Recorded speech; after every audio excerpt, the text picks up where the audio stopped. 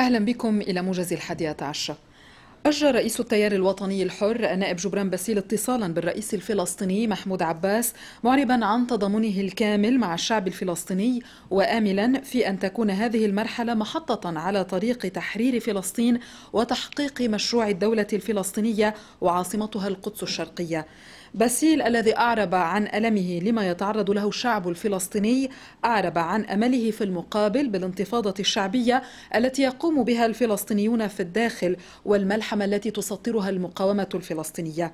كما أجرى باسيل اتصالا بوزير خارجية فلسطين رياض المالكي وتباحثا بالحلول المنتظرة لوقف النار وحل مشكلة القدس وسكانها. ولمناسبة عيد الفطر أجرى باسيل مروحة واسعة من الاتصالات العربية والإقليمية والداخلية الداخلية للتهنئة أبرزها مع الرئيس السوري بشار الأسد وعدد من وزراء دول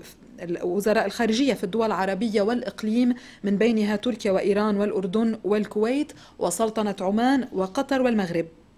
كما اتصل باسيل معايدا بمفتي سوريا بدر الدين حسون وعدد من المفتين ورجال الدين في لبنان وبرئيس الحكومة حسان دياب والأمين العام لحزب الله السيد حسن نصر الله وعدد من الوزراء ورؤساء الأحزاب والمسؤولين والقادة السياسيين والأمنيين معربا عن أصدق التمنيات بأيام أفضل في ظل انتصار جديد للقضية الفلسطينية وعودة القدس إلى عالميتها والعرب إلى وحدتهم ضمن جامعة عربية تجمعهم ولا تفرقهم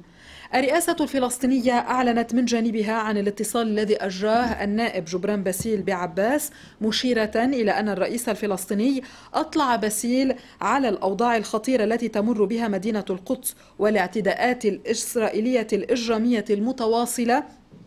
على الفلسطينيين والمصلين في المسجد الأقصى وكنيسة القيامة بالإضافة إلى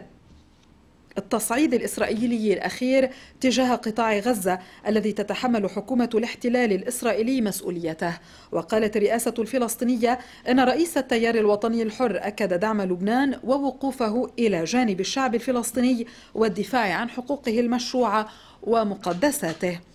الوزير السابق محمود فني محمد فنيش عفوا اعتبر أننا اليوم في زمن التحولات الكبرى التي صنعتها المقاومة بدماء شهدائها من لبنان إلى فلسطين وعلى امتداد محور المقاومة. وشدد فنيش على أنه لا يمكن للعدو الإسرائيلي بعد اليوم أن يهدد أمننا من دون أن يشعر بأن أمنه مهدد وأنه لا يمكن لمشروع التوسع الصهيوني أن يحيا بإمكانية تحققه على أرض فلسطين. نهاية الموجز إلى اللقاء.